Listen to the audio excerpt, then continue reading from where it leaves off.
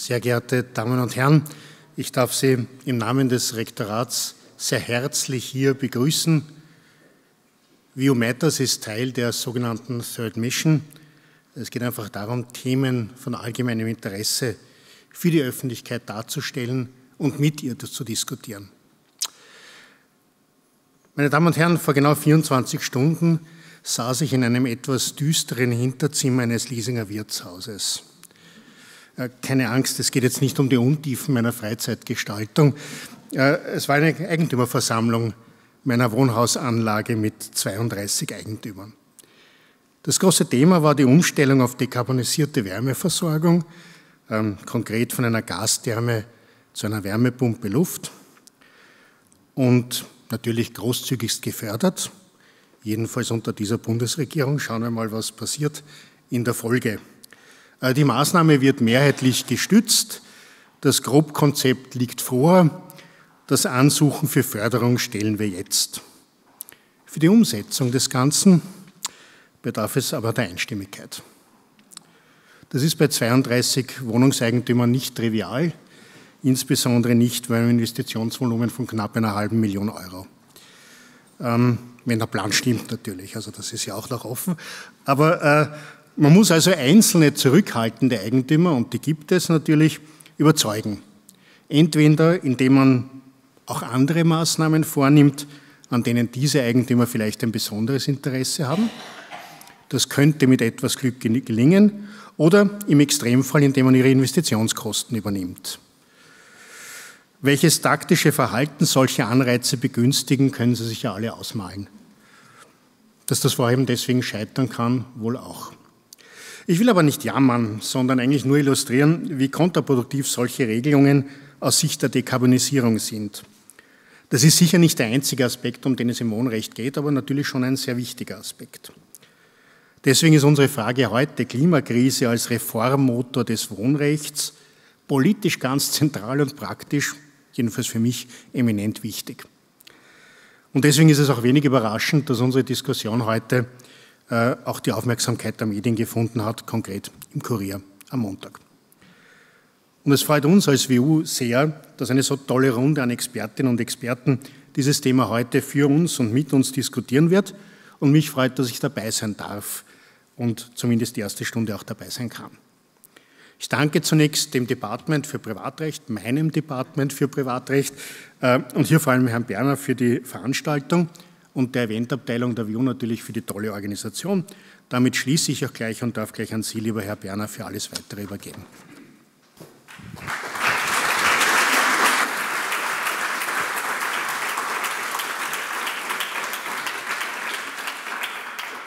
Ja, lieber Herr Vizerektor, sehr geehrte Damen und Herren, wir sind wirklich eine sehr, sehr aktive Live-Veranstaltung die erste Diskutantin trifft jetzt gerade ein. Äh, sie, sie, wollte wahrscheinlich subkutan darauf hinweisen, wie klimaneutral sie reist, wenn sie mir geschrieben hat, dass sie in der U-Bahn steckt und äh, zweimal umsteigen musste und deswegen ein bisschen verspätet ist. Ja, also herzlich willkommen. Danke fürs Mitdiskutieren, danke fürs Dasein. Wir führen den doppelten Kampf gegen das Wetter. Einerseits mit Blick auf unser Thema, andererseits mit Blick natürlich auf die Außentemperaturen und das Alternativprogramm. Deswegen versuchen wir die Zeit auch sinnvoll zu nutzen.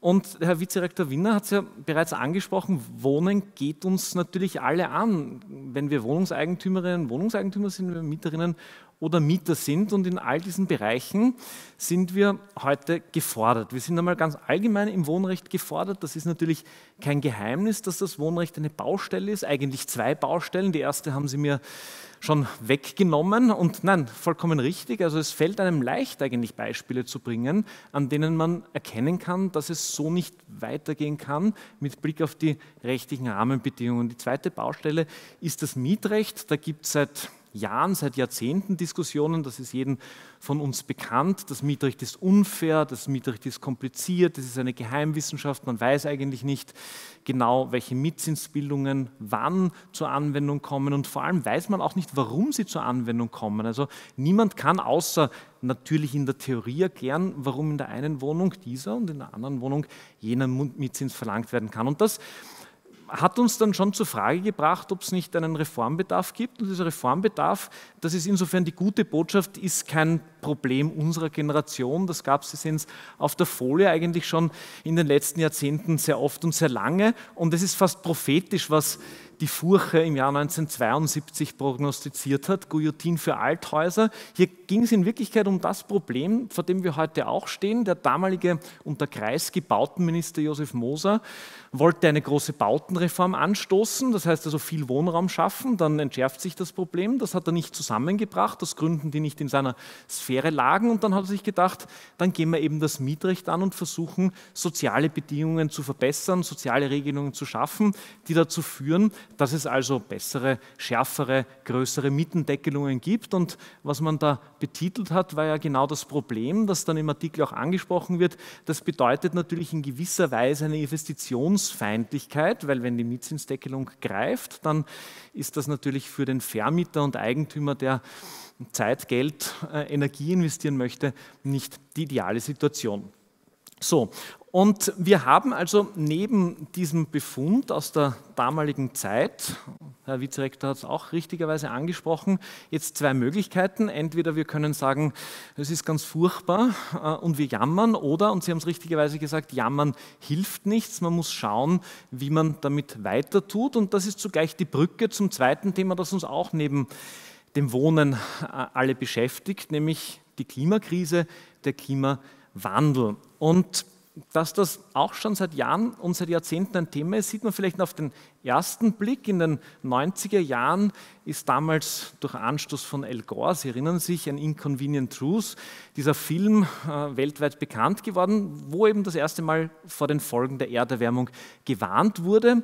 Und das war eigentlich so öffentlichkeitswirksam das erste Mal, dass man darüber gehört hat. In Wirklichkeit hieß es schon viel früher, Statistiken zeigen eine Erderwärmung. Die Versicherer haben es natürlich schon als erste gewusst, weil sie mit Statistiken arbeiten und daher hat die Münchner Rück in den 1970er Jahren vor den dramatischen Folgen gewarnt. Man hat der Münchner Rück damals Geschäftemacherei zum Vertrieb von Versicherungen vorgeworfen und letztlich hat sich auf Punkt und Beistrich all das, was sie vorausgesagt haben, auch bewahrheitet. Und wenn man sich aber die letzten Jahre anschaut, ich kann mich erinnern, dass ich den ersten Vortrag zum Klimawandel oder zur Klimakrise, das hieß es damals noch nicht gehalten habe, da habe ich mich bemüht, Beispiele zu finden, die möglichst plastisch sind. Das muss man heute nicht mehr machen. Man braucht nur letzte Woche die Schlagzeile über das Jahrhunderthochwasser, schon wieder ein Jahrhunderthochwasser in Deutschland nehmen. Der nächste Temperatur- und Unwetterrekordsommer steht vor der Tür. Wir wissen, dass es treffen wird, dass es eintreten wird. Wir wissen nur nicht, ob es bei uns ist oder bei unseren Nachbarn. Also die Beispiele sind wirklich nicht enden wollend. Gerade vor der Veranstaltung gab es die Meldung, dass das 1,5-Ziel nicht erreicht wurde, also bereits überschritten wurde mit Blick auf die Erderwärmung. Und lange Rede, kurzer Sinn, die Klimaerwärmung und der Klimawandel hat sich längst zur Klimakrise entwickelt. Und diese dramatischen Beschleunigungs- und Verstärkungseffekte, die sehen Sie wirklich allerorts. Ich ähm, weise nur auf ein Beispiel, das besonders plastisch ist, hin, das Korallensterben, das durch die Erderwärmung ähm, hervorgerufen wird. Das führt natürlich dazu, nicht nur, dass die schönen Korallen absterben und wir nicht mehr schnorcheln und tauchen gehen können, sondern dass der Lebensraum für die Fische verloren geht. Wenn der Lebensraum für die Fische verloren geht, dann gibt es weniger Nahrung, das während Dürre- und Ernteperioden und das führt eben dazu, dass aus diesem reinen Erwärmungsthema einfach ein Krisenthema geworden ist. Und auch hier gilt aber natürlich, jammern hilft nichts und das ist der Übergang zur nächsten Folie muss einfach wieder kälter werden und wir müssen Klimaziele erreichen. Und Österreich hat sich das Klimaziel gesetzt, bis 2040 klimaneutral zu werden. Da sehen wir hier, dass es noch ein relativ weiter Weg ist in die Richtung, aber um auch eine positive Botschaft zu bringen, offenbar geht es, zumindest 2023 ist die vorläufige Berechnung einmal in die richtige Richtung. Aber da muss noch einiges passieren und damit sind wir beim heutigen Thema. Es muss nicht nur einiges passieren, sondern der Gebäudesektor muss mitmachen, weil ein guter Teil der CO2-Emissionen eben nicht nur durch den Verkehr, nicht nur durch die Industrie, sondern eben auch durch das Wohnen und den Wohnraum als solchen verursacht wird.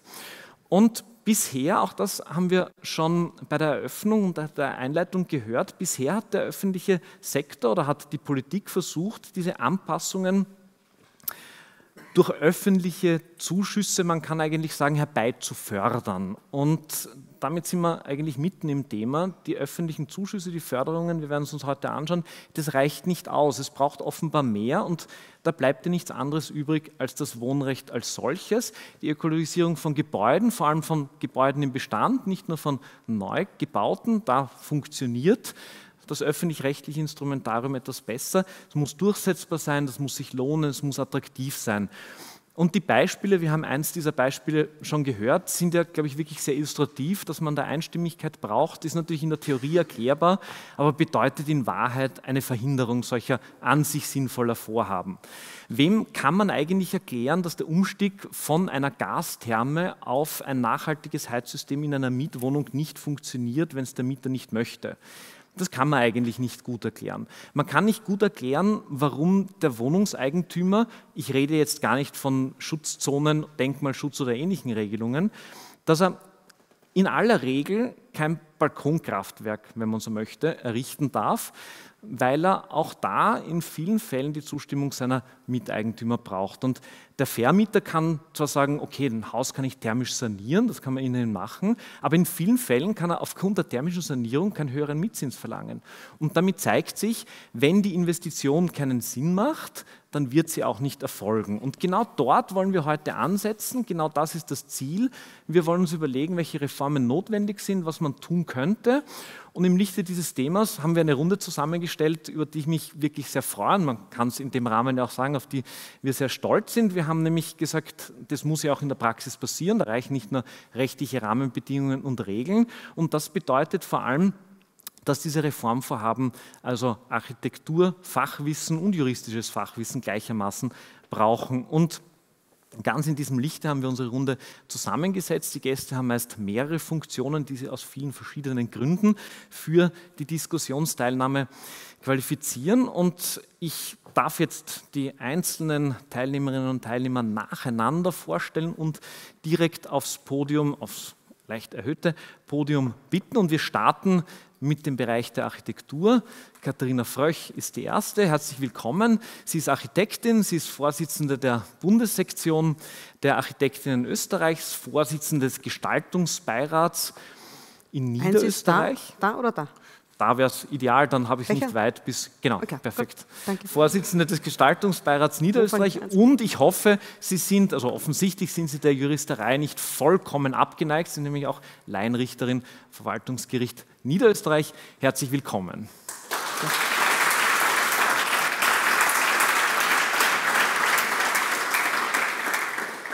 Wir haben es geschafft, eine zweite Architektin zu überzeugen, zu unserer Veranstaltung zu kommen, Zili Wilczko. Sie ist neben äh, ihrem Brotberuf der Architektur, äh, im Brotberuf der Architektur, ähm, Prokuristin, Abteilungsleiterin der Wohnbauvereinigung für Privatangestellte und dort für Neuprojekte, für den Bau von Projekten zuständig, Geschäftsführerin einer Planungsgesellschaft und ich bin sicher, Sie haben sehr viel aus Ihrem Bereich und aus der Praxis zu berichten. Herzlich willkommen.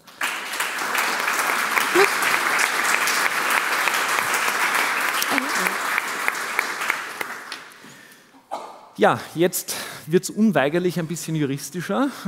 Wir haben äh, eine Person, die mir vorher gesagt hat, ich soll sie nicht unbedingt als Mietrechtsjuristin vorstellen. Und jetzt habe ich es doch gemacht, ähm, einfach weil sie so viel Expertise mitbringen. Karin Ramser ist äh, ja, wie gesagt, Juristin, hat für eine Mieterinteressengemeinschaft, also eine NGO, gearbeitet, dann für die Stadt Wien in ganz verschiedenen Funktionen, bevor sie 2017 Direktorin von Wiener Wohnen wurde. Und äh, der soziale Wohnbau und seine Bedeutung für Wien, jedem ist das bekannt. Herzlich willkommen.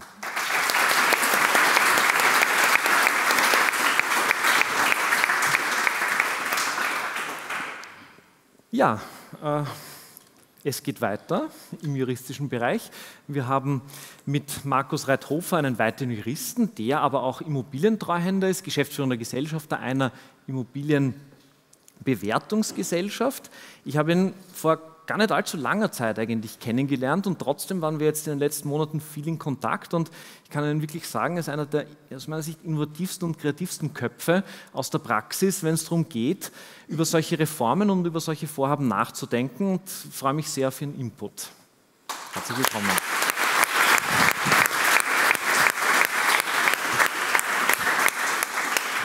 Ja, und last but by far not least, Hannes Stabenteiner, bis 2023 der Abteilungsleiter der zuständigen Abteilung im Justizministerium und damit der Mann im Wohnrecht.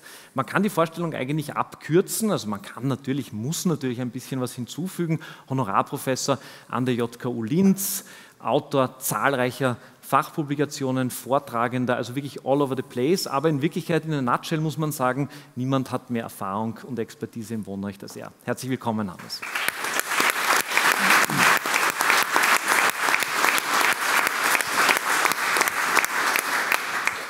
Gut, ich glaube, wir sind alle überzeugt, dass man sich ein besseres Podium nicht vorstellen kann.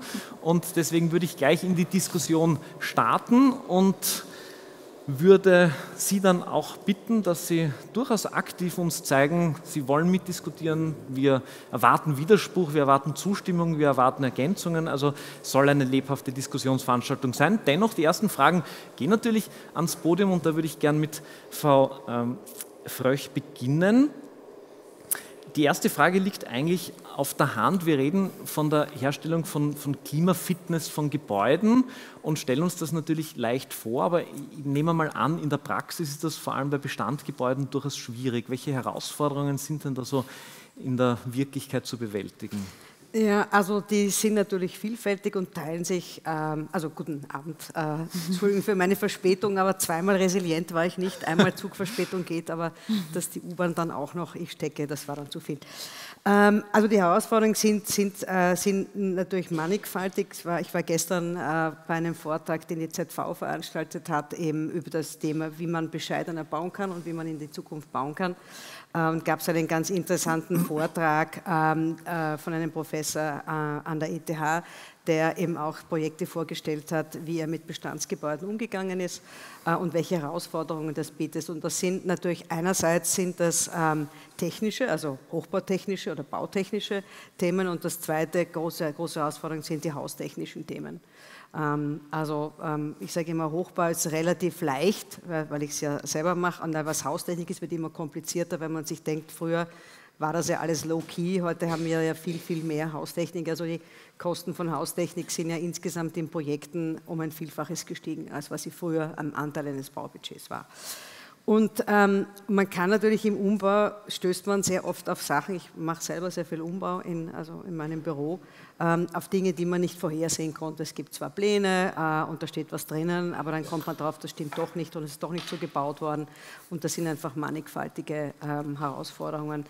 Und ähm, äh, ich habe selber jetzt eben ein, ein, Haus auch in Wien, haben wir sozusagen ein Gründerzeithaus, haben wir von Grund auf eben saniert, haben mit Wärmepumpe ausgestattet, weil Fern, der Fernwärmeanschluss so teuer gewesen wäre, dass das unleistbar ist. Ja. Also, also ein Mietshaus. Ein Mietshaus, ja. ja. Mhm. Also das ist ein Mietshaus.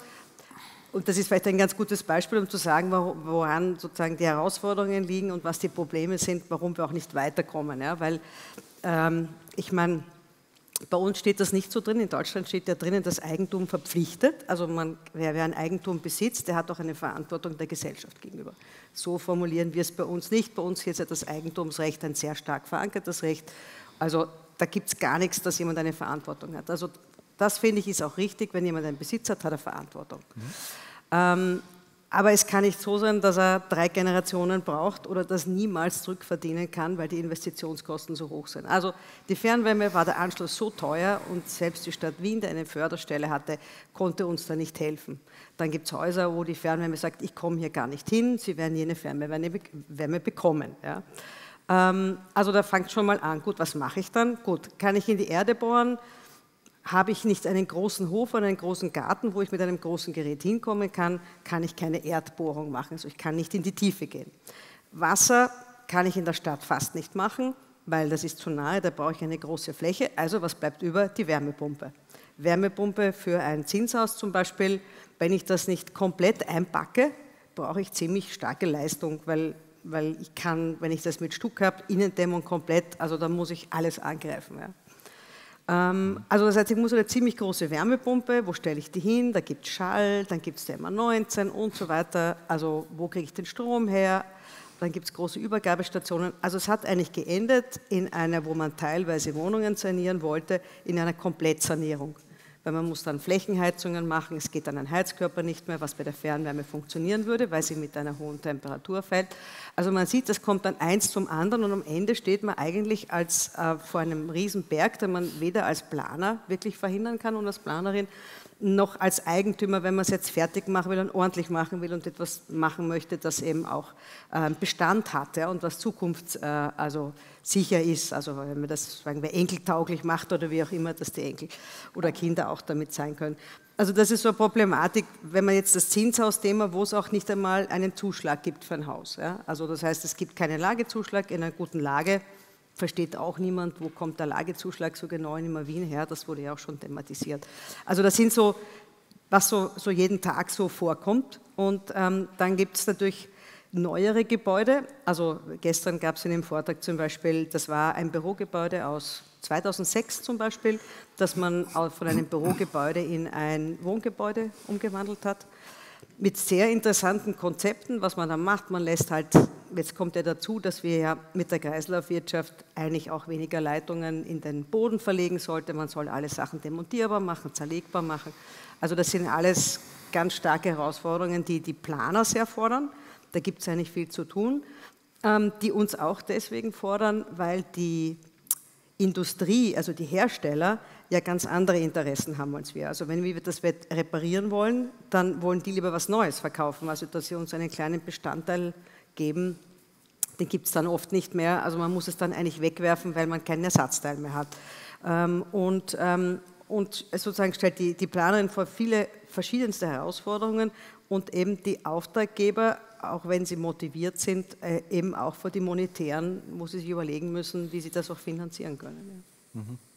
Sie haben die Verantwortung von Eigentümern angesprochen ja. und das ist vielleicht das Stichwort, Sie haben es auf der Folie gesehen, wo wir stolz darauf sind, dass die Immobilienprivatstiftung unsere Veranstaltung und ein Projekt, das ganz in diese Richtung geht, fördert. Der Vorstand, Herr Dr. Telser, ist auch da und ich darf vielleicht von den Bestandgebäuden zum Neuprojekt oder zu den neuen Projekten und damit zu Frau Wilschko kommen.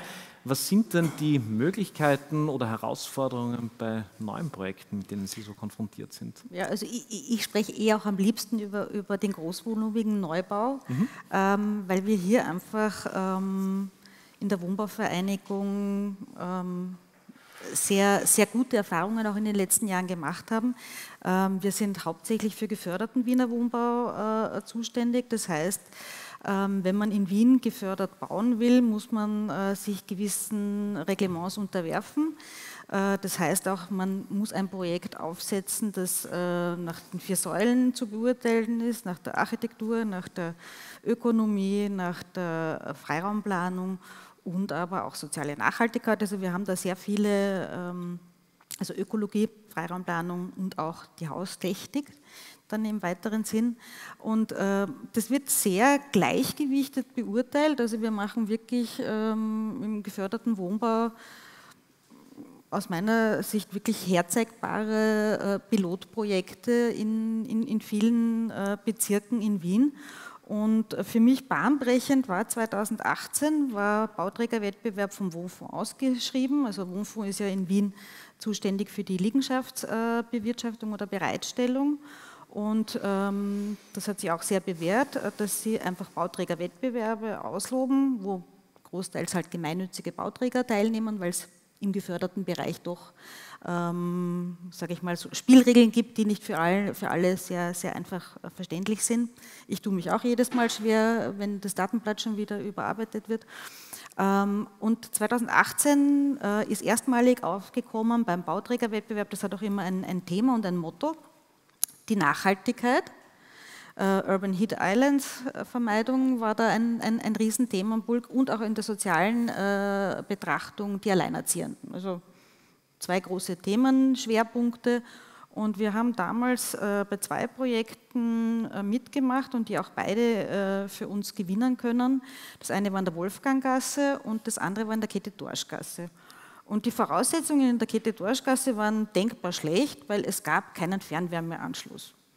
Und ich war, ich war wirklich also, empört. Ja? Also wie, wie man das ausloben? Da gibt es da gibt's keine Energieversorgung und, und jetzt, jetzt sollen wir uns ein Energie, Energiekonzept auch noch überlegen, also was noch alles. Und ähm, im geförderten Wohnbau ist es äh, immer schon so, also wenn man Fördermittel in Anspruch nimmt, darf man keine fossilen Energieträger verwenden. Also die, dieses Verbot gibt es, es unterscheidet uns jetzt auch vom frei finanzierten Wohnbau.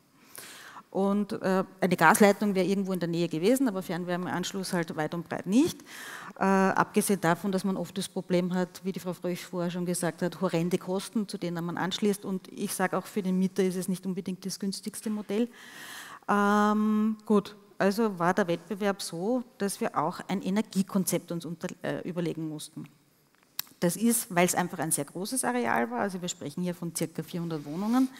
Ähm, tolle Sache, weil wir haben Tiefenbohren, äh, Tiefensondierungen, äh, Tiefenbohrungen gemacht. Das ist sich einfach sehr gut alles ausgegangen, schön unter den, unter den äh, Baukörpern versteckt, äh, unter dem Garagengeschoss, äh, BV-Anlagen am Dach, einen Wärmetauscher, Abwasser, Wärmerückgewinnung. Das war auch eines der ersten Projekte, wo das umgesetzt wurde, also dass man auch das ganze, das ganze Brauchwasser äh, nutzt, also das nicht warm in den Kanal einleitet, sondern die Wärme schon mit Plattentauschern vorher abfängt und in einen Kreislauf ins Haus einspeist, funktioniert großartig. Also die ersten Schwierigkeiten gab es noch, wie das noch nicht in Schwung war in der ersten Woche nach Bezug, aber das funktioniert tadellos. Und äh, durch die Erdsonden hat man ja auch die, die Vorgabe, ich, ich, entziehe nicht nur Wärme aus dem Boden, ich muss die Sonde ja auch wieder, oder das Feld muss ich wieder regenerieren. Das heißt, ich muss im Sommer wieder Wärme hineinspeisen, damit es wieder gesättigt ist und ich im Winter das wieder entziehen kann. Und durch diesen Effekt haben wir das sogenannte Free Cooling. Und das Free Cooling ist jetzt keine Klimaanlage, sondern eine klimaneutrale Kühlung, die über das Medium, und wir haben die Decke gewählt, äh, im Winter heizt und im Sommer temperiert. Ich sage jetzt nicht kühlen, aber es temperiert. Noch kommt dazu, dass im Neubau einfach die Dämmstärken und die, die Gebäudedichtigkeit äh, so hoch ist, dass man wirklich im Niedrigstenergiestandard ist. Also ich bin nicht Passivhaus, das wäre noch eine Etappe äh, stärker, aber ich bin im Niedrigstenergiesektor und das ist wirklich beeindruckend, äh, wie wenig die Leute heizen müssen und wie wenig sie sich im Sommer über eine Überwärmung äh, beklagen. Und äh, mhm. ich war jetzt auch das ist eben ähm, voriges, nein, vor eineinhalb Jahren schon übergeben worden. Also wir hatten schon einen sehr heißen Sommer und eine ganz große Zufriedenheit. Äh, das war ein wirklich tolles Projekt für uns, weil wir sehr viel daraus gelernt haben, aber auch, was Katharina Fröch vorher schon gesagt hat, ich habe keine normale Haustechnik mehr, das sind Anlagen. Also wirklich, das sind Riesenräume. Ich brauche einen Facility Manager dafür. Mhm. Das steigert natürlich wiederum Betriebskosten das muss der Mieter dann auch mitzahlen. Aber allalong und auch jetzt mit diesen gestiegenen Energiekosten und Preisen äh, ist es ein, ein, Hauptgewinn. Und ich kann mir im Moment eigentlich kein Projekt vorstellen im Neubau, das wir nicht versuchen, mit einer eigenständigen Energieversorgung äh, umzusetzen.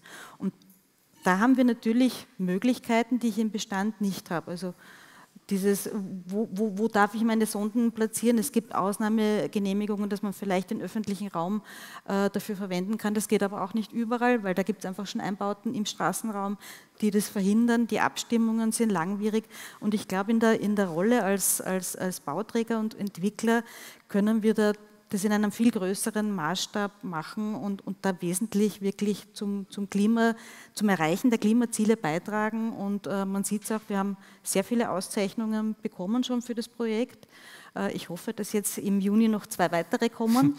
äh, und es ist, es, ist, es ist wirklich toll. Aber ähm, es ändert sich halt sukzessive, also die, die Verpflichtung der PV-Anlagen am Dach, also der PV-Anlagen war früher nur für Bürogebäude hat sich jetzt mit der Bauordnungsnovelle auch auf den Wohnbau ausgedehnt.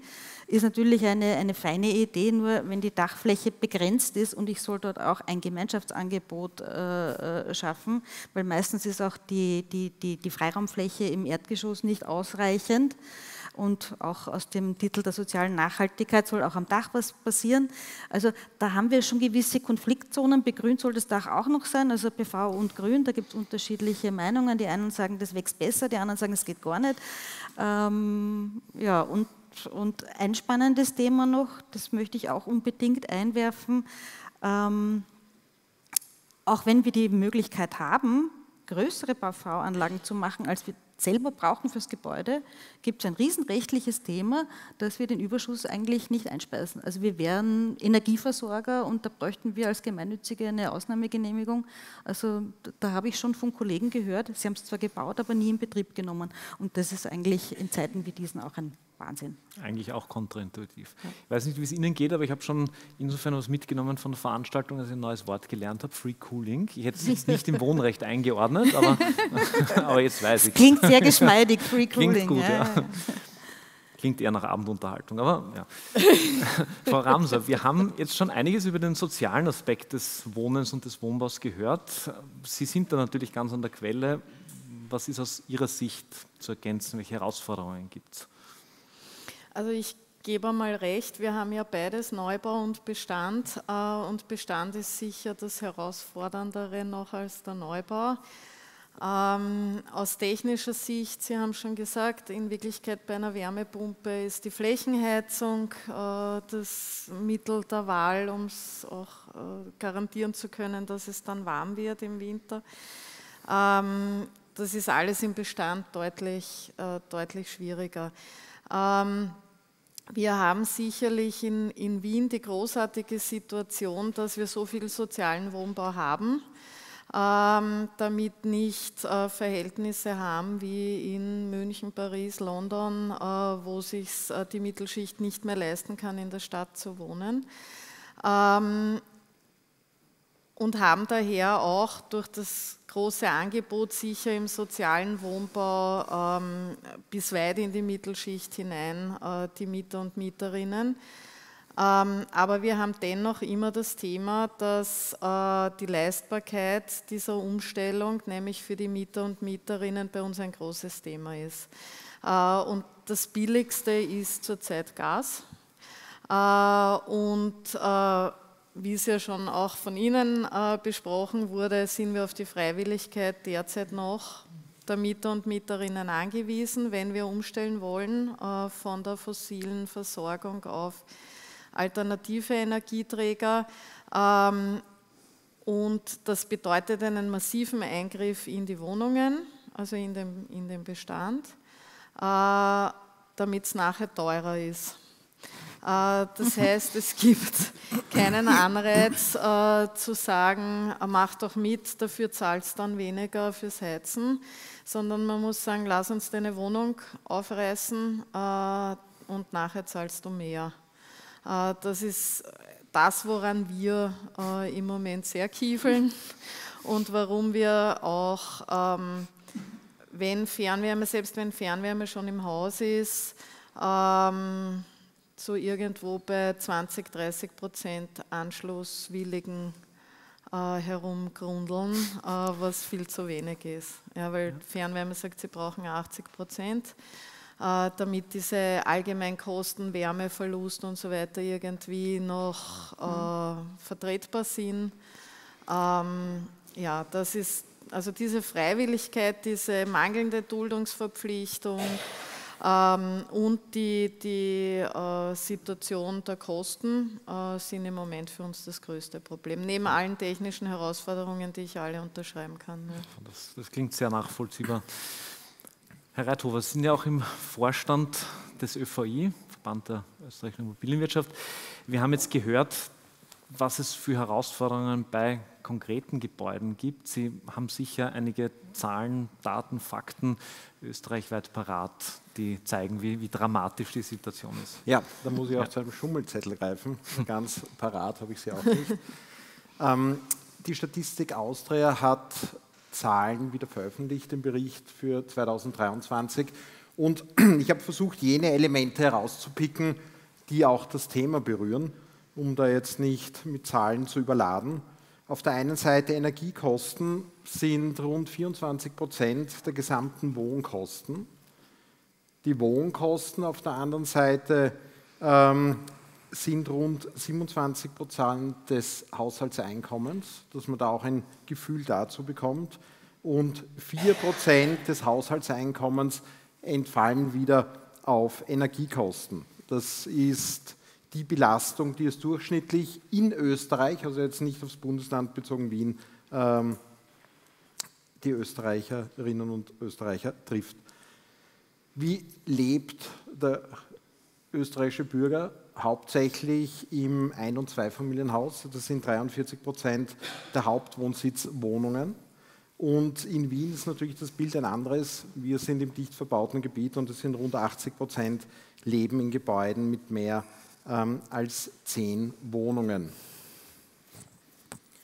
Bei den Haushaltsgrößen geht es um das Thema auch der Leistbarkeit. Wie kann man sich auch solche Umstellungen leisten? Weil wir natürlich immer im Spagat sind. Auf der einen Seite leistbares Wohnen.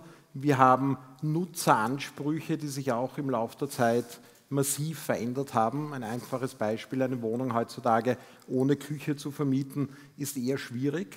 Das war vor einigen Jahren noch ein anderes Bild. Ähm, eine Wohnung, die vielleicht schon etwas in die Jahre gekommen ist, wieder neu zu vermieten, ist detto schwierig. Also wenn nicht die Oberflächen auch einen gewissen Standard haben, sind eigentlich solche Objekte heutzutage auch schon schwer wieder ähm, auf dem Mietmarkt zu platzieren. Und bei den Haushaltsgrößen, ja, das ist einfach ein Trend, der sich immer weiter fortsetzt, sind rund 2,18 Personen pro Haushalt und die Einpersonenhaushalte, die zunehmen, liegen derzeit bei 38 Prozent. Und wenn man dann wieder überlegt, gerade Einpersonenhaushalte, um wie es auch eine Leistbarkeit geben, ähm, weil das ja auch mit umfasst, das Wohnungseigentum oder auch ähm, Ein- und Zweifamilienhäuser, dann ist natürlich das eine entsprechende Belastung, die sich auch weiter fortsetzt, nämlich bei Wohnnutzflächen, die noch im 95er Jahr bei rund 87 Quadratmeter gelegen sind und jetzt sind wir bei über 100 Quadratmeter pro Wohnung. Bei den Heizungsarten, und das hat mich eigentlich recht überrascht, wobei in manchen Bereichen noch muss man es auch wieder ein bisschen gerade richten. Die Fernwärme in Österreich hat sich mit rund 28 Prozent der Hauptwohnsitzwohnungen schon durchgesetzt. Hauszentralheizungen, und da muss man natürlich aufpassen, da sind natürlich in der Zählung auch die Ein- und Zweifamilienhäuser dabei, liegt bei rund 53 Prozent Etagen und Wohnungszentralheizungen, das ist die typische Gastherme, bei rund 13 Prozent und Wohnungen ohne Heizung beziehungsweise nur Einzelraumheizungen, also ein typischer Gaskonvektorofen, Ölofen oder noch ein, ein Kohlekochsofen bei rund 6 Prozent. Ähm, das, die überspringe ich, aber eine möchte ich noch nennen. Wir verbringen rund 73 Prozent unserer Zeit in Wohnungen und vor allem zu Hause. Und somit ähm, sich diesen Bereich irgendwo nett und freundlich zu gestalten, ähm, ist doch wesentlich und wichtig. Was mich ein bisschen erschreckt hat, die Statistik geht dann am Wochenende, sind wir 76 Prozent unserer Zeit zu Hause. das stimmt mich eher ein bisschen traurig. Also die Leute sollen wieder mehr rausgehen. Also ich dachte, sie sollen mehr arbeiten. Das ist eigentlich etwas, was ich nicht bringen wollte, aber weil das gerade angeschnitten wurde. Es ist natürlich vom Säugling bis zum Kreis ähm, in dieser Statistik mit äh, die Personen enthalten. Ähm, Schlafen ist mit acht Stunden und 50 Minuten doch sehr zeiterfüllend. Die Freizeit liegt bei 5 Stunden 35. Die Erwerbstätigkeit, aber wie gesagt, vom Säugling bis zum Kreis, äh, bei 2 Stunden 53. und die Aus- und Weiterbildung, natürlich die Studierenden hier im Saal jetzt ausgenommen, ähm, bei rund 40 Minuten. Sind ja. da auch Säuglinge dabei? Da sind auch die Säuglinge dabei, natürlich. Obwohl, okay, die lernen aber sehr viel. Die lernen eigentlich permanent. So ist es, ja. Also da ist die Statistik etwas hinkend.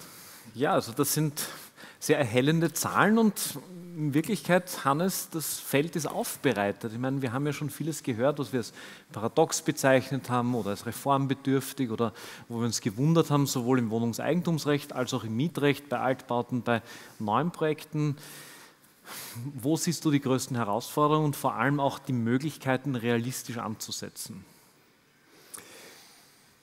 Wenn man den sogenannten Bestand sich ansieht, und ich muss gleich eine Parenthese anbringen, unter Bestand ähm, verstehe ich jetzt den architektonischen Begriff, nämlich bereits bestehende Gebäude.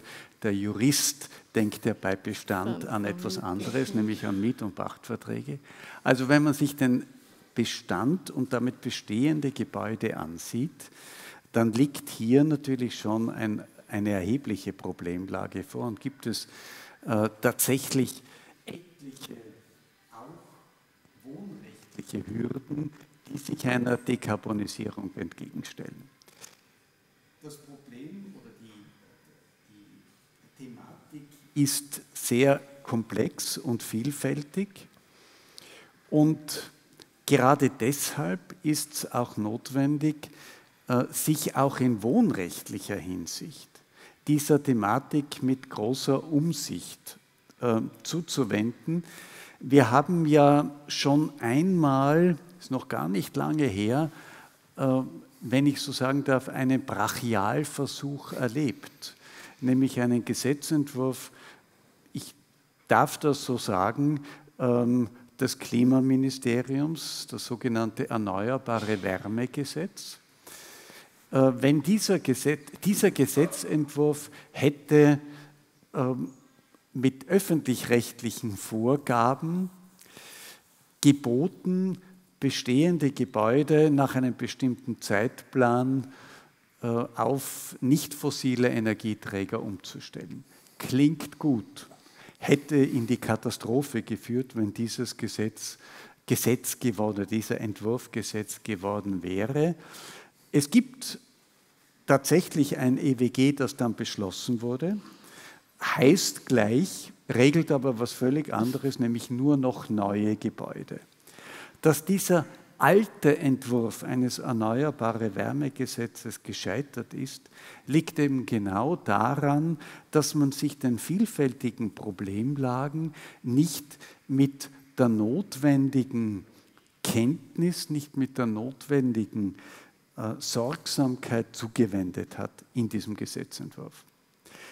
Seit Oktober des Vorjahres gibt es im Justizministerium ein Projekt, ein Gesetzgebungsprojekt, ähm, in dem im Rahmen einer Arbeitsgruppe ein äh, neuer, ein anderer Gesetzentwurf vorbereitet werden soll, der zum Ziel hat, die wichtigsten wohnrechtlichen Hürden gegen klimafreundliche Maßnahmen bei bestehenden Gebäuden zu beseitigen.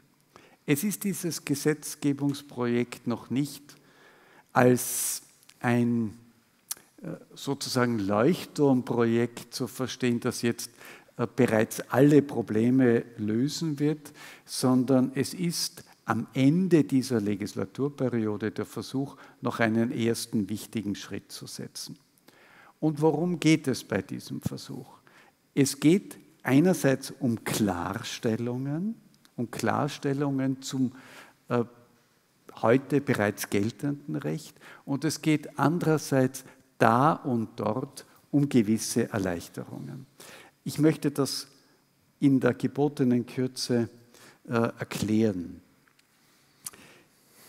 Etwa im Wohnungseigentumsrecht gilt es, verschiedene Fragen zu klären, und zwar durchaus auf Basis der heutigen Rechtslage zu klären. Der Herr Vizerektor äh, hat in seinem Einleitungsstatement gesagt, dazu brauchen wir die Einstimmigkeit.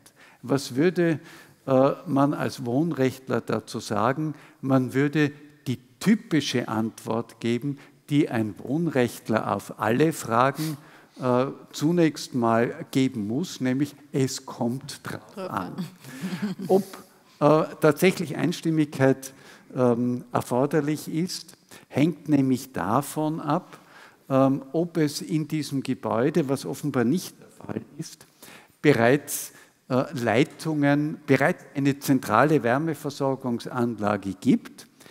Gäbe es bereits eine zentrale Wärmeversorgungsanlage, die beispielsweise mit Öl und Ähnlichem betrieben wird, dann wäre es durchaus im Rahmen einer normalen Beschlussfassung ähm, möglich, ähm, zu entscheiden, dass man eben diese zentrale Wärmeversorgungsanlage künftig äh, nicht mit fossilen Energieträgern, sondern beispielsweise mit einer ähm, Erdwärmepumpe, wo womöglich, vielleicht in Kombination auch mit verschiedenen Photovoltaikanlagen betreibt. Wenn man natürlich, aber keine Sorge, ich, ich höre dann schon auf äh, mit diesen äh, Erklärungen, wenn man aber natürlich autoritativ in die einzelnen Wohnungen hinein will, wenn man nicht nur die Leitungen verlegen, sondern auch die anderen Wohnungseigentümer dazu zwingen will, zwingen unter Anführungszeichen, äh, sich an diese neue Anlage an, äh, anzuschließen, dann wird es nicht ohne das Einverständnis aller gehen.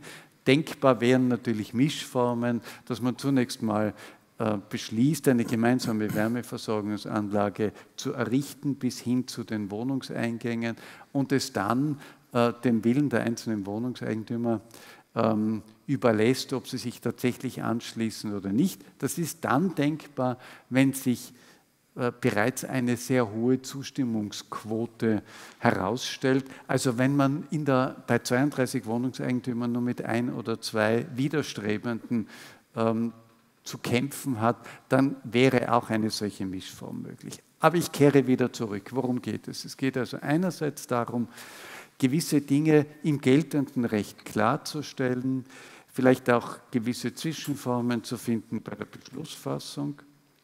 Und es geht im Mietrecht vor allem auch darum, ähm, äh, Frau Rams hat das schon angesprochen, es geht vor allem um die Frage der Duldungspflichten. Müssen Mieter bestimmte Maßnahmen im Inneren äh, ihrer Wohnung bei aufrechtem Mietverhältnis dulden? Hier wird der Gesetzgeber wohl auch mit veritablen Änderungen gegenüber der bisherigen Rechtslage vorgehen müssen, wenn man einen Schritt weiterkommen will. Das ist jetzt sozusagen das Programm wie weit man mit den einzelnen Programmpunkten oder wie, wie sehr man sich ähm, mit den einzelnen Programmpunkten bereits äh, vor den Vorhang wagt, ähm, wird noch zu entscheiden sein. Ähm, wir haben nächste Woche die letzte und wahrscheinlich äh, bis auf weiteres abschließende Arbeitsgruppensitzung. Ähm, es wird sich dann ähm, wir werden dann der Politik einen äh, Gesetzentwurf vorlegen, der an sich beschlussreif wäre. Ob es dann noch ein Begutachtungsverfahren äh, im Rahmen oder über einen äh, noch zu erarbeitenden Ministerialentwurf geben wird oder ob man das allenfalls als Initiativantrag noch gleich ähm, im Sommer vor Ablauf der Legislaturperiode in den Gesetzwerdungsprozess einbringt, wird sich weisen die Zeit äh, drängt, wenn man es in dieser Legislaturperiode noch umsetzen möchte. Ähm, ich bin eigentlich relativ optimistisch, dass es zu diesem ersten, aber wichtigen Schritt noch kommen wird. Äh, es werden diesem ersten Schritt in der kommenden Legislaturperiode sicherlich noch weitere folgen müssen. Die 28. Gesetzgebungsperiode wird ja aus den unterschiedlichsten Gründen eine spannende. Wie wird sich wohl eine kommende Bundesregierung äh, zusammensetzen? Welches Programm wird sie sich geben? Und gewiss bleibt es auch im Wohnrecht spannend und ganz sicherlich auch im Zusammenhang mit der Dekarbonisierung. Eigentlich, ja, vielen Dank. Eigentlich wäre ja für eine türkis-grüne Regierung die Möglichkeit, Investitionen zu fördern, um Klimafitness herbeizuführen, aufgelegt gewesen, muss man auf den ersten Blick von außen sagen. Was glaubst du, waren so die politischen Haupthindernisse, was die Corona-Pandemie, die zu Verzögerungen geführt hat und auf der das Hauptaugenmerk lag, oder war es tatsächlich, du hast das angedeutet, äh, der falsche Weg, den man gegangen ist mit den öffentlichen Förderungen und der zwangsweisen Verpflichtung aus rein öffentlich-rechtlicher Perspektive? Was waren so die Hauptgründe? Ich glaube, dass man sehen muss, dass es ein Riesending ist, eine Riesenherausforderung, die vor uns steht. Und zwar schon einmal technisch, das wurde schon angesprochen. Es ähm, sind aber auch rechtlich wirklich große Hürden äh, zu bewältigen. Ich würde nicht kritisieren, äh, wie unser Eigentumsrecht und auch unser Eigentumsgrundrecht konzipiert ist. Es ist halt nun mal ähm, äh, aus guten Gründen rechtlich nicht so ohne weiteres möglich, dem einzelnen Wohnungseigentümer äh, zu diktieren, aufzuoktroyieren, jetzt seine Gastherme, die er möglicherweise erst vor einem Jahr erneuert hat, jetzt eine neue Brennwerttherme anstatt der bisherigen Technik. Also es ist nicht so ohne weiteres möglich ähm, und aus guten Gründen nicht möglich, den, äh, den Wohnungseigentümern einfach aufzuoktroyieren, äh, jetzt hier diesen Schritt setzen zu müssen. Also die Problemlage ist komplex und vielfältig und ich, ich, wiederhole es, man muss, diesen, man, man, muss dieser Problematik mit Umsicht begegnen, ähm, weil man eben sonst scheitert, weil es eben, ähm, sonst unter Umständen auch Finanzierungsprobleme gibt, die für die einzelnen Wohnungseigentümergemeinschaften unlösbar sind.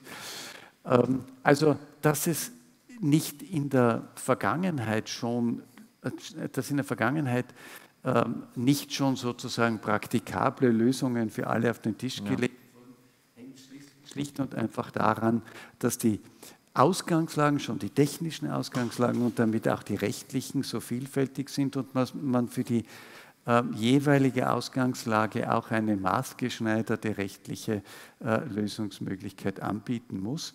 Wie gesagt, leichter tut man sich in all jenen Fällen, in denen es schon bisher eine zentrale Wärme, eine gemeinschaftliche Wärmeversorgung gab. Schwierig wird es, wenn man das in einem Haus erst etablieren muss und sozusagen diese Gemeinschaftlichkeit in der Energieversorgung erst ganz neu auf die Beine stellen muss. Ja, und wie du sagst, unter Wohnrecht wird eben so als ein Begriff in Wahrheit etwas verstanden, was zwei verschiedene Baustellen sind. Und du hast das ja schon angesprochen, es ist einfach die Koordination von Wohnungseigentümern mit anderen Problemen, auch anderen Regelungsthemen verbunden als die soziale Frage des Mietrechts, wo natürlich ganz andere Aspekte auch eine Rolle spielen. Und vielleicht gerade zu diesen Aspekten im Mietrecht, du hast die Duldungspflichten angesprochen, also um dem Problem zu entgegnen, dass man eigentlich auch nicht kann, wenn man möchte, gegen den Willen des anderen Vertragspartners, geht ja in beide Richtungen. Bei der thermischen Sanierung von, von Häusern, also Wärmedämmungen, da habe ich gelernt, funktioniert es. Das heißt, das kann der Vermieter an sich durchsetzen, nur, wie gesagt, der wird es wahrscheinlich nicht machen, wenn er nicht dafür irgendeine Form von höheren Mietzins oder irgendeine Form von Anreiz bekommt. Und ist das Reformprojekt auch in diese Richtung Natürlich. Ja. Also ähm, ich, ich muss um Verzeihung bitten, wenn es jetzt äh, ganz kurz dann, dann doch ziemlich juristisch wird. Diese thermischen Verbesserungen eines Gebäudes sind in der mietrechtlichen Terminologie sogenannte fiktive Erhaltungsarbeiten. Es sind keine echten Erhaltungsarbeiten, äh, weil da ist ja nichts kaputt geworden, was man erhalten äh, müsste, sondern sind eigentlich Verbesserungsarbeiten. Sie werden aber mietrechtlich wie Erhaltungsarbeiten behandelt und das hat verschiedene Effekte. Zum Beispiel hat es eben den Effekt dieser Duldungspflicht. In, und das ist ein sehr schönes Beispiel. In den Diskussionen darüber, nun auch die Änderung der Wärmeversorgung als fiktive Erhaltungsarbeit zu definieren, taucht natürlich dann sofort eine Frage auf, die eine ganz alte Frage im Mietrecht ist, nämlich wer zahlt. zahlt. Ähm, und äh, wird möglicherweise für die Investition, die da, und das sind natürlich ordentliche Investitionssummen, was weiß man, wie es eben, auch das wurde angesprochen, wie es in den kommenden Legislaturperioden mit Förderungsmitteln und so weiter aussieht. Also es mag schon sein, dass man da auch tief in die Tasche greifen muss. Und da stellt sich natürlich sofort die Verteilungsfrage, sind es dann möglicherweise die Mieter, die dann über ein sogenanntes Paragraph 18 MAG Mieterhöhungsverfahren mit einer unter Umständen sogar exorbitanten Steigerung ihres Mietzinses konfrontiert sind. Wir kennen das aus anderen Zusammenhängen, dass manchmal solche Paragraph 18 äh, Mieterhöhungsverfahren schlicht und einfach dazu führen, dass Mieterinnen und Mieter sich ihre Mietwohnung nicht mehr leisten können und sie dann verlassen müssen. Ich nenne dieses Beispiel nur, weil man daran sehr schön illustrieren äh, kann, dass man bei allem Verständnis für die Problematik und bei aller Werf, äh, diese Problematik zu lösen, man diese alten mietrechtlichen Fragen äh, nicht einfach beiseite schieben kann, sondern man muss sie, und das ist eben das Schwierige, man muss sie gleichsam einen Schritt mitlösen. Und damit etwas tun, was in den vergangenen oder worauf wir eigentlich seit 30 Jahren schon warten, nämlich spätestens seit dem dritten Wohnrechtsänderungsgesetz 1994 gerade mit Blick auf die soziale Verantwortung, die mit dem Eigentum auch einhergeht oder einhergehen sollte, kann man natürlich auch sagen, da sind die Vermieter im mietengeschützten Bereich natürlich schon sehr weitgehend in der Pflicht. Wie würden Sie das aus der Perspektive der sozialen Verantwortung sehen? Meinten Sie, dass man mehr in Richtung Klimafitness, unabhängig jetzt vom Mietrecht, also auch im Wohnungseigentumsrecht denken sollte? Ich habe also ich, ich hab, war auch zweimal bei einem runden mhm. Tisch, wo, wo, wo sozusagen also die, der, äh, die äh, sozialen Wohnbauträger ähm, gesessen sind, die ja sozusagen vor der Herausforderung sitzen, dass sie in neuen Gebäuden sehr viel einbauen müssen und die Mieten dann so hoch werden, dass sie eigentlich dann schon schwer sozial verträglich sind und dass sie natürlich Bestandsgebäude haben, wo sie auch gezwungen sind, also sozusagen durch die, durch die Förderungen, dass sie dort auch was tun. Aber sie haben, was haben sie mir erklärt, da kenne ich mich jetzt zu wenig aus, gebe ich ehrlich auf, zu, dass sie eigentlich auch keinen Anreiz haben oder wie sie es finanzieren können, weil sie können es nicht von den Mietern zurückverlangen, sie bekommen aber auch keinen Benefit und darum steht das Ganze wiederum auf einem anderen Vortrag hört man dann, die, dass der andere Wohnbauträger, der macht das ganz super, der macht durch die Rauchfänge die Kleinwärmepumpen, die setzt er in die Dächer rein, die er meistens noch mhm. hat, also wenn er den Flachdach hat, und versorgt das und so versorgt so Stränge mit relativ wenig Aufwand. Also es gibt sozusagen viele Dinge. Was ich gemeint habe mit der sozusagen Verantwortung ist, weniger jetzt den sozialen Wohnbau, weil ich glaube, da wird wahnsinnig viel bei uns mhm. gemacht. Da sind wir eh auf einem super Weg. Ähm, aber es gibt natürlich alles, was freier Wohnbau ist oder wenn man sich in der Immobilienwirtschaft bewegt und natürlich jeder Planer hat mit der Immobilienwirtschaft zu tun, obwohl ich manchmal das Gefühl habe, wir kommen dort nicht vor, weil wir eigentlich dort nie geladen sind. Also sozusagen, das sind zwei Welten.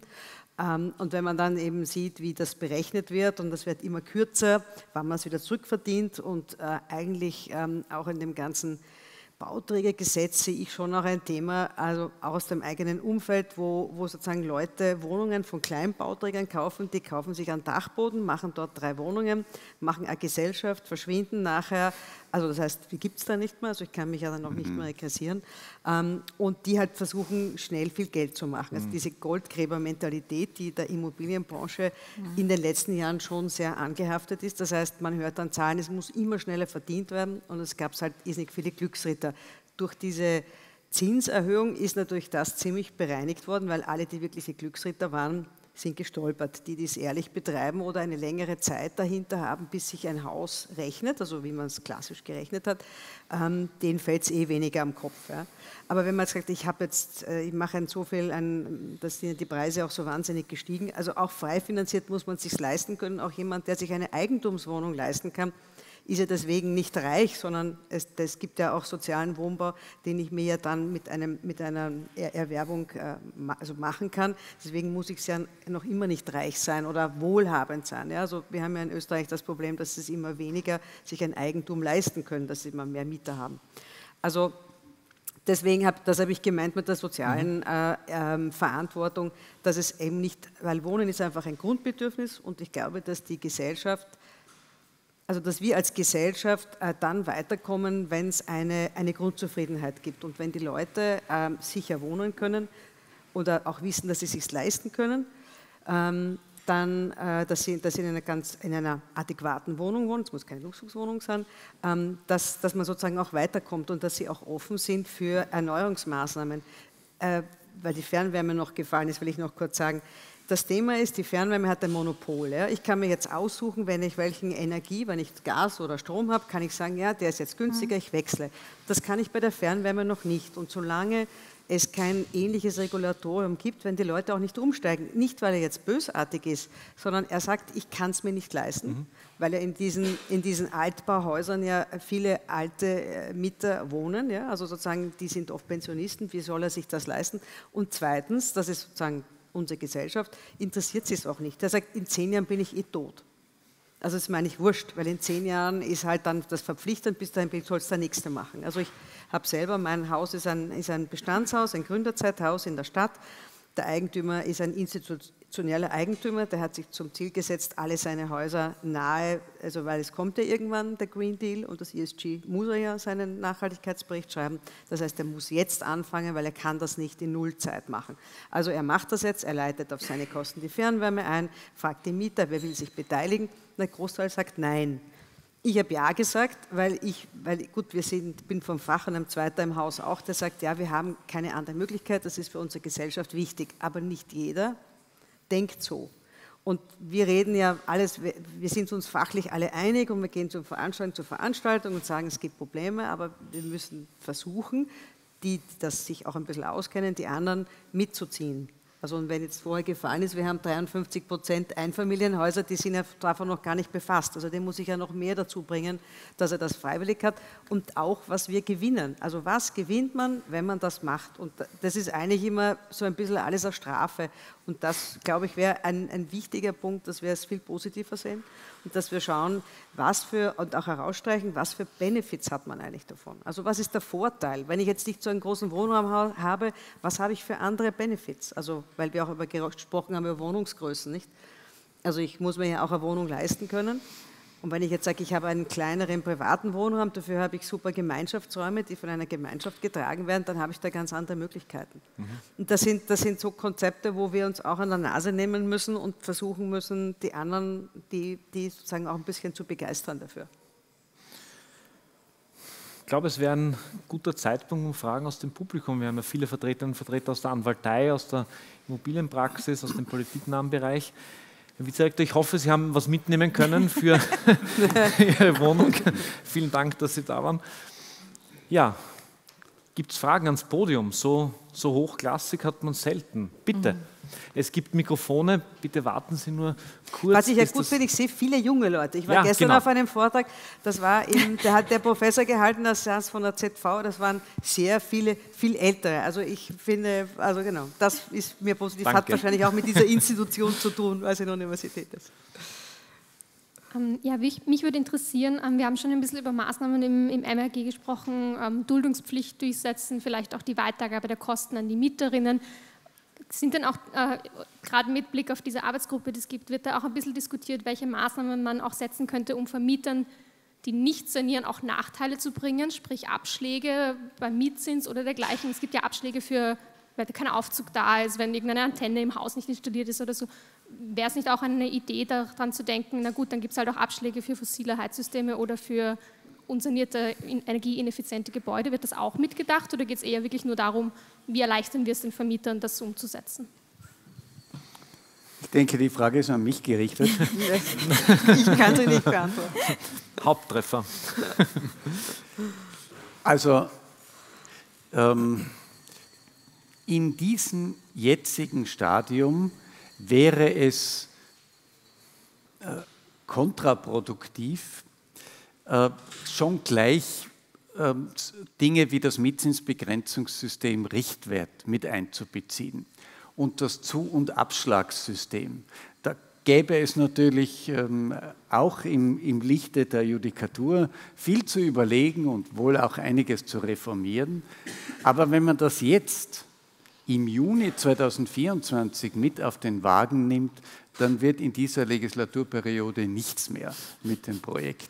Deswegen sage ich ganz klar, solche Überlegungen ähm, werden zwar angestellt, werden zwar eingebracht, muss man aber beiseite schieben, wenn man jetzt ergebnisbezogen arbeiten möchte. Ich sage aber, sage aber auch gleich etwas Inhaltliches dazu. Äh, wir sind, äh, also man darf nicht übersehen, dass im System dieser Mietzinsbegrenzung ein solcher Abschlag nicht denkunmöglich ist, aber nicht ganz systemkonform, weil nach unserem System im Regelfall der Vermieter nicht die Wärmeversorgung des äh, Objekts schuldet. Ja? Also jedenfalls nicht im Vollanwendungsbereich des Mietrechtsgesetzes. Ja? Der Vermieter schuldet nicht die Wärmeversorgung, sondern es ist grundsätzlich Und so passiert es ja auch, jedenfalls im urbanen Geschehen. Es ist grundsätzlich Sache des Mieters, sich durch einen äh, Bezugsvertrag mit Fernwärme, mit, äh, mit einem Gasversorger oder was auch immer, ähm, um diese Wärme äh, zu kümmern. Also im Gegensatz zum Beispiel zu Deutschland ist unser Regelvertragstyp im Mietrecht die sogenannte Kaltmiete und nicht die Warmmiete. Deshalb ist es wahrscheinlich müsste man diskutieren, ob es ausreichend systemkonform wäre, hier, hier einen Abschlag vorzusehen, wenn es immer noch mit fossilen Energieträgern funktioniert. Der Effekt, das sage ich jetzt noch rechtspolitisch dazu, das eine war sozusagen rechtssystematisch, rechtspolitisch sage ich äh, dazu, der Effekt wäre sehr überschaubar. Warum? Weil das Richtwertsystem ja immer nur auf den äh, Neuabschluss, auf den Neuabschluss von Mietverträgen wirkt und nicht auf bereits bestehende Verträge. Aber diskutieren äh, kann man das natürlich äh, gut und gerne, aber jedenfalls in der 28. Legislaturperiode. Vielleicht nur ein ergänzender ja. Gedanke dazu. Indirekt wäre es sogar möglich im Richtwertsystem, wenn man dann nämlich überlegt, dass die mietrechtliche Normwohnung ja in einem Gebäude gelegen ist mit einem ordnungsgemäßen Erhaltungszustand.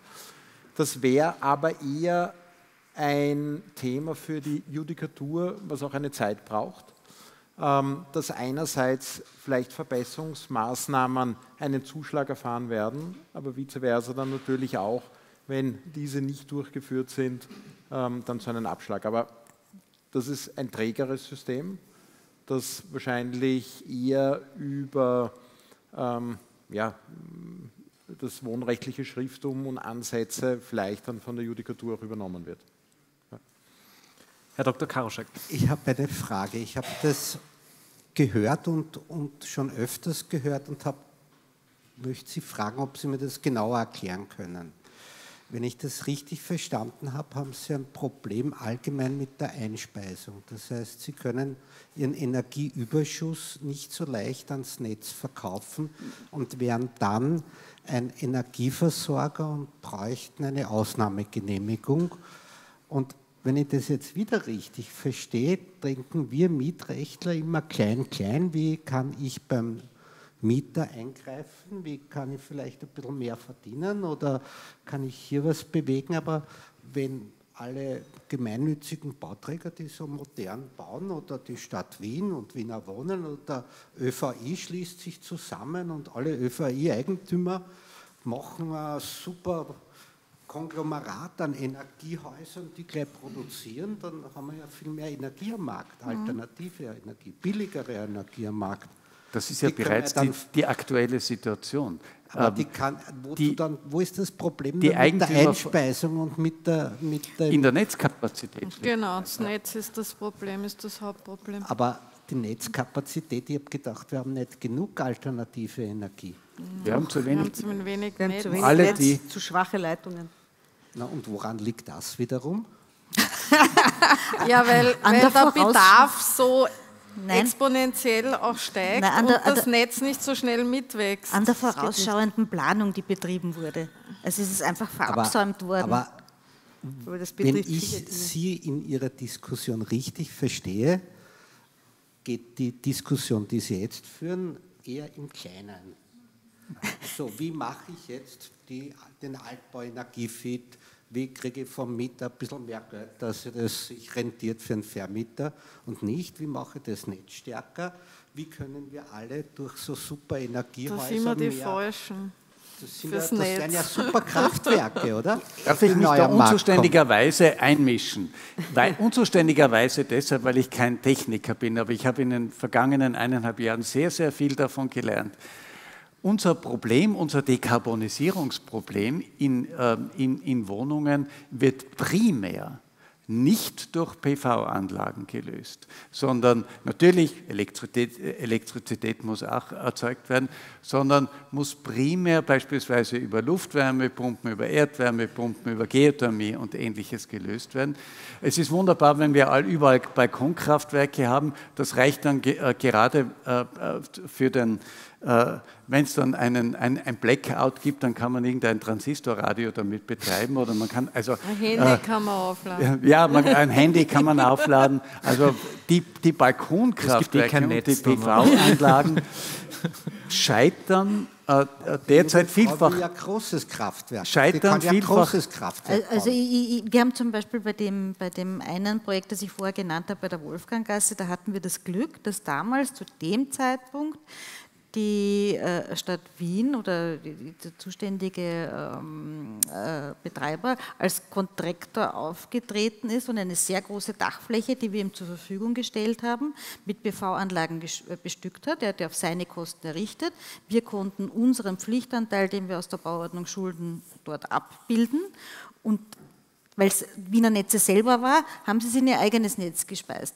Die Problematik, die ich vorher angesprochen ist, wenn ich als, als Eigentümer des Hauses jetzt äh, als gemeinnütziger Bauträger ein Energieerzeuger wäre, das geht nicht oder ich brauche eine Ausnahmegenehmigung dafür oder ich weiß nicht, vor irgendwelchen Urteilen wird sich gerade gefürchtet und da tut man lieber nicht einschalten. Wir haben es zwar, aber. Muss ja. doch das zuerst lösen, bevor ich den Eingriff ins Mietrecht oder die Verbesserung von wohnungseigentumsrechtlichen Abstimmungsmodalitäten. Ja, die, die, die, Juristen sind herzlich die Frage aufgerufen. zuerst, wie können diese super Wohnungs diese super Anlagen, diese ja. super tollen neuen Häuser ihre gesamte Energie einspeisen. Ja. Herr Dr. Karschek, nein, äh, Problem, das, das, ist wirklich ein, ein Missverständnis. Ja. Wir glauben, in, in, der öffentlichen Diskussion wird immer so, wird öfters ähm, äh, die Ansicht verbreitet, PV-Anlagen würden die äh, Energiewende im Gebäudebereich ähm, bewirken.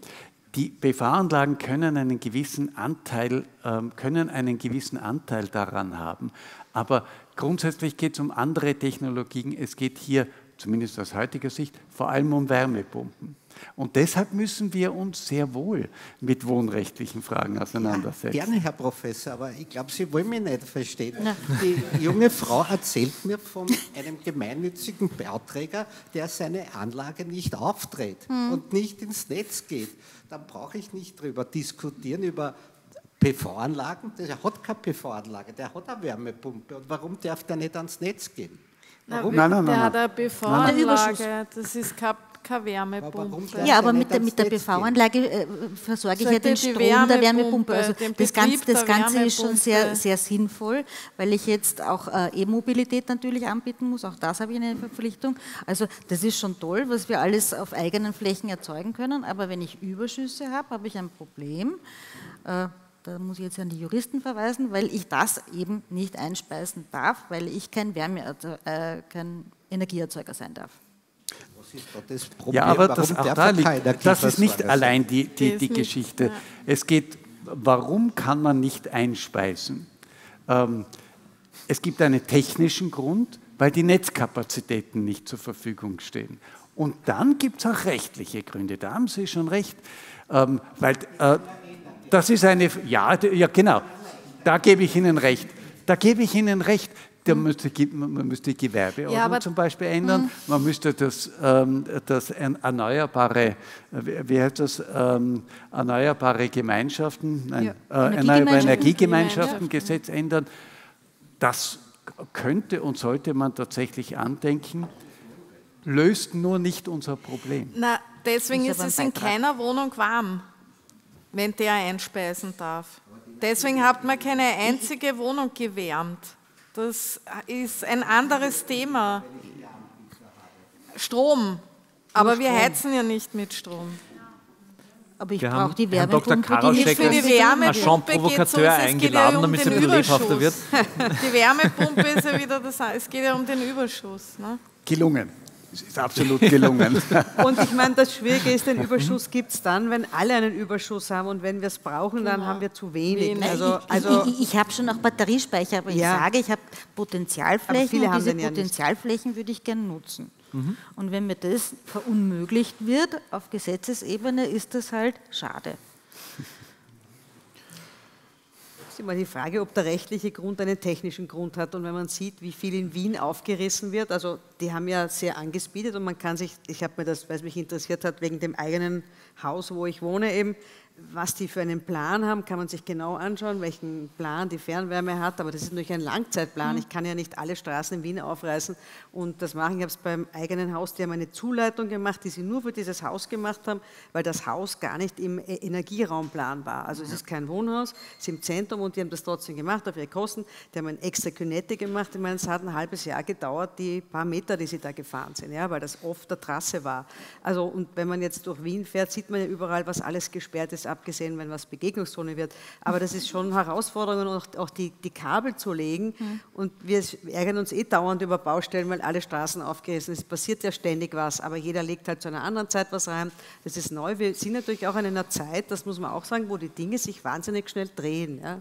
Wir haben es auch gestern besprochen oder wir denken darüber nach, auch, auch unser Beruf ändert sich total schnell. Ja. Also was wir Architekten vor 20 Jahren, 10 Jahren gemacht haben, die Herausforderungen und was wir gelernt haben, das ändert sich. Wir müssen ständig dazulernen und müssen uns mit neuen Sachen beschäftigen, ja, mit dem sich nie einer vorher von uns beschäftigt hat.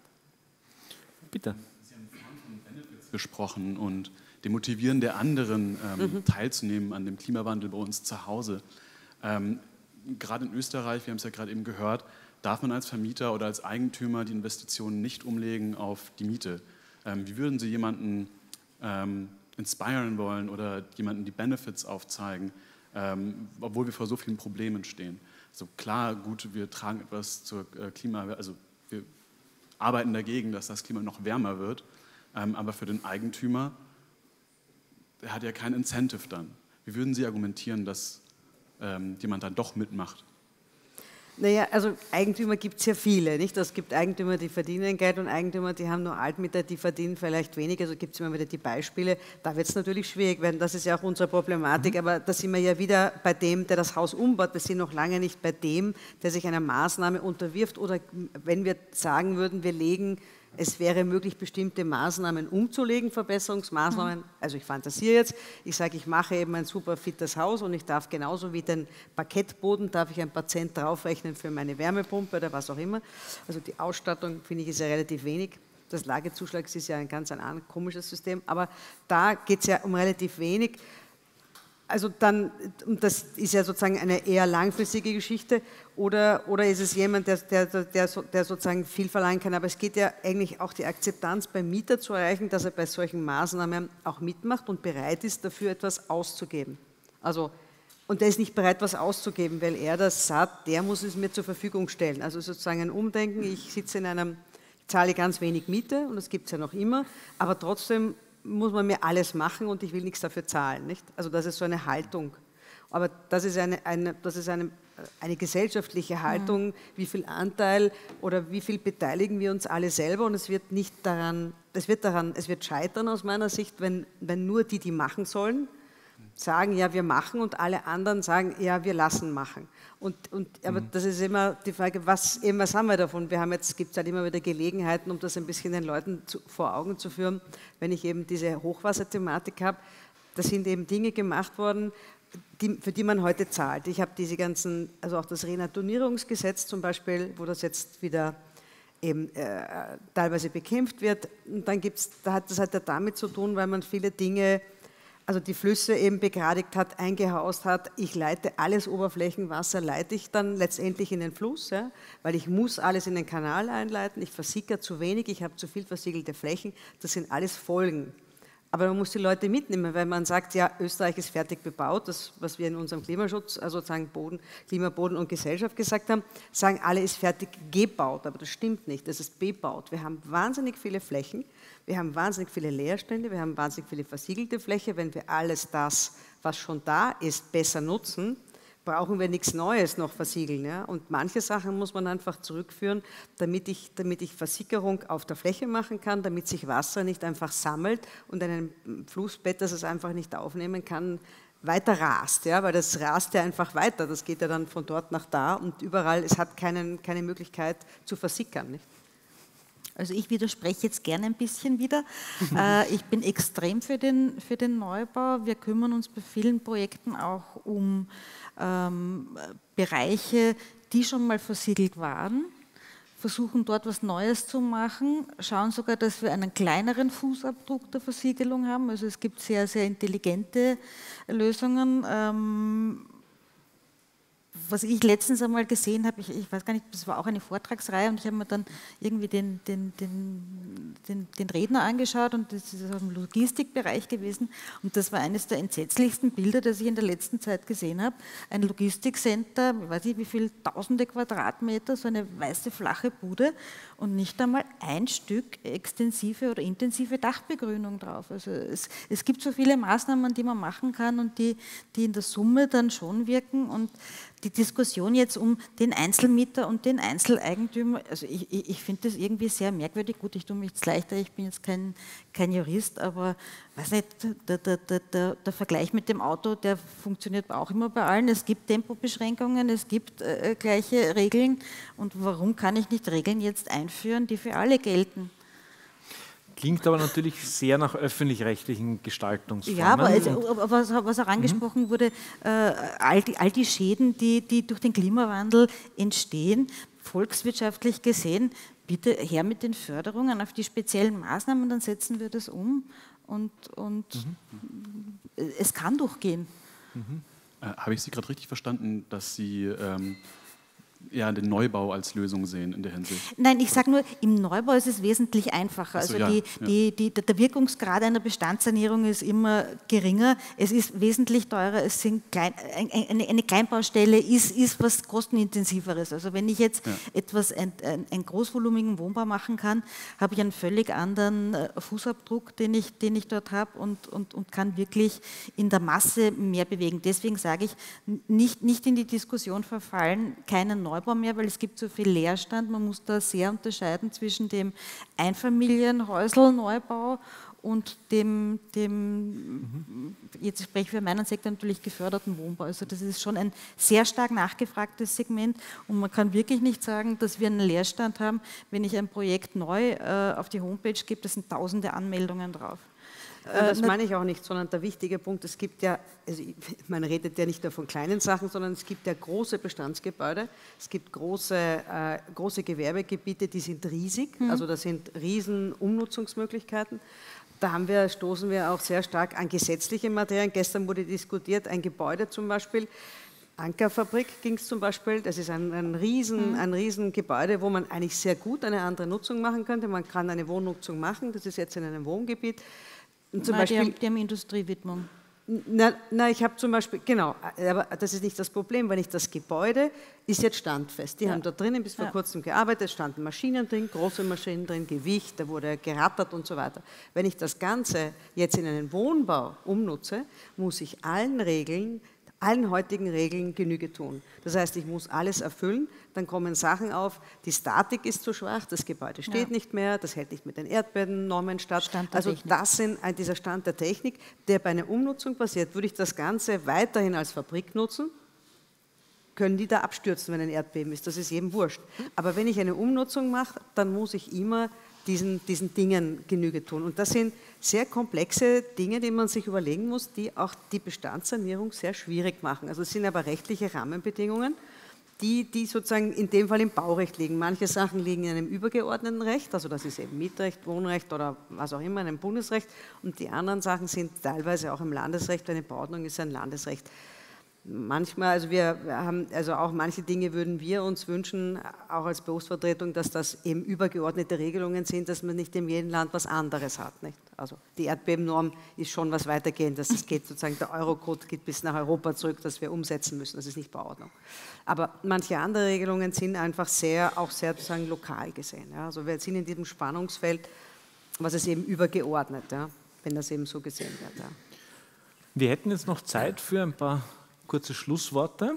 Darf ich vielleicht nur ja, auf die natürlich. Frage, nämlich zwei Gedanken dazu.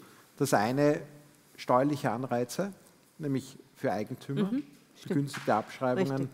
Auf der anderen Seite auch ähm, Förderungen, die natürlich ein mhm. Anreiz sind auf, auf der einen Seite nur, mhm. da muss man auch wieder aufpassen, weil das oft eine Diskussion ist, warum nehmen Menschen Förderungen nicht an, gerade die in der Vermietung und Verpachtung tätig sind, weil es einfach aus den Förderbestimmungen der Vergangenheit oft die Sorge gibt, naja, vielleicht kommt da dann irgendwann ein Eingriff und ich wäre schlechter gestellt, aufgrund dessen, dass ich ja öffentliche Förderung in Anspruch genommen habe.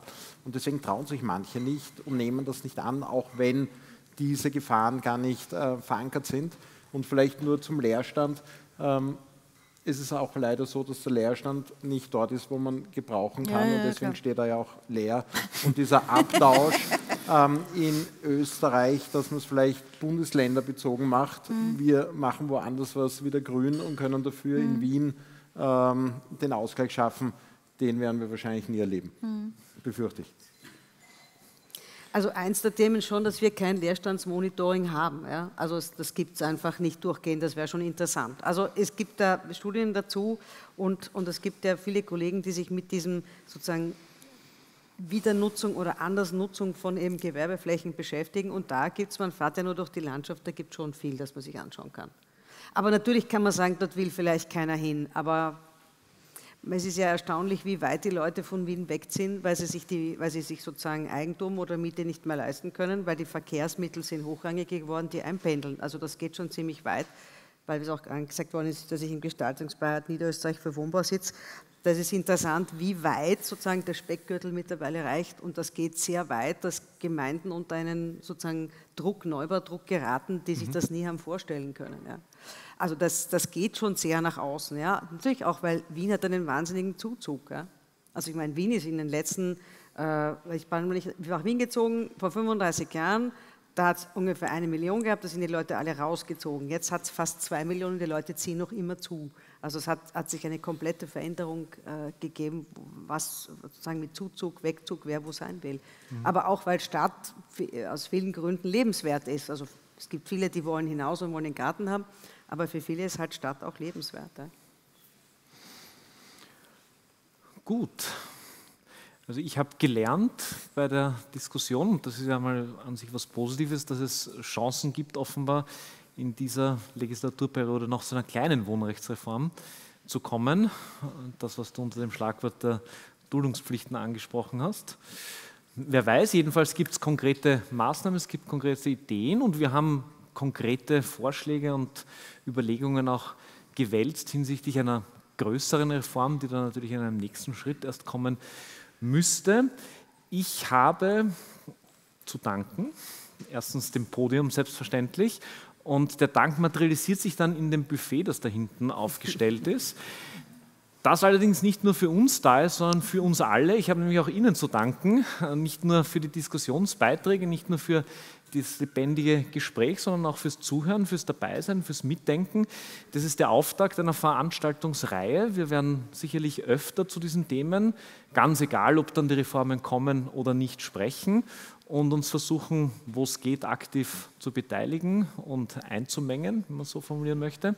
Und für heute hoffe ich, dass Sie noch guten Appetit haben und freue mich über Ihr Kommen und über weitere Gespräche und herzlichen Dank für die Veranstaltung.